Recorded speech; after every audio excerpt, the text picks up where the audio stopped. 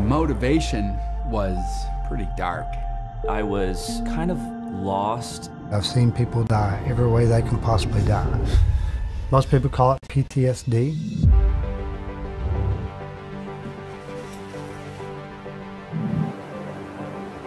The older I get, the more I realize life isn't about obtaining possessions, it's about obtaining experiences. Everybody was like, what are you doing? You're gonna die, or they were all impressed or scared for my life, one or the other.